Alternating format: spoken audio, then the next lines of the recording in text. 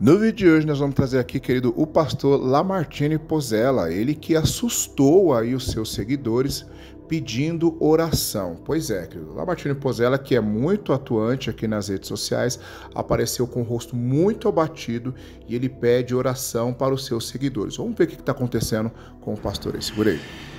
Querido, estou passando aqui para pedir oração para vocês. Eu estou uh, com influenza, atacou muito os meus pulmões, estou com um pouco de falta de ar.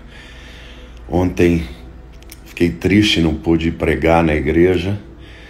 Fui duas vezes ao hospital, uma pela manhã, depois de madrugada de novo.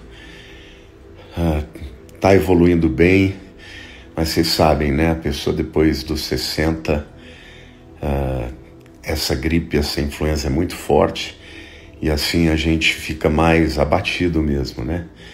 Então por isso eu estou meio ausente aqui das mídias, não fiz mais tantas lives, mas essa semana ainda vou fazer porque tem muito assunto importante para falar sobre as Olimpíadas, o ataque também ah, contra os ah, lá em Israel contra os drusos que matou as crianças, mas estou passando aqui mais para pedir oração para vocês Deus abençoe.